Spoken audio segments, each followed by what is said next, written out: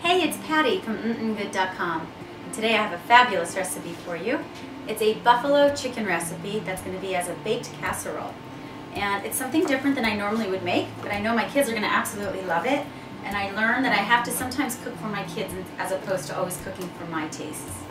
So here's my chicken and I'm just going to go ahead and cut it in cubes. I had seen the concept of this recipe online, but there were no directions for the recipe and the ingredients were kind of minimal. So kind of figured I'd make it my own. So I went ahead and I cubed my chicken, and in this bowl I have a whole bunch of shredded hash browns. So I'm going to mix my chicken with this, and then I'm going to add the secret sauce.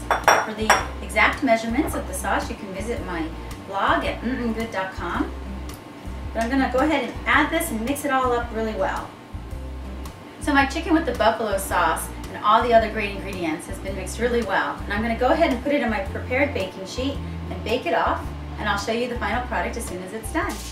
So I went ahead and put my chicken in my baking dish and I took a piece of aluminum and I went ahead and I sprayed it with some Pam and I'm going to cover it up.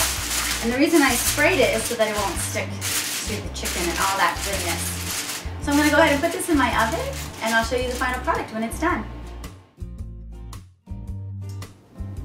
Hey, it's Patty from mmgood.com. Today I made my buffalo chicken casserole dish.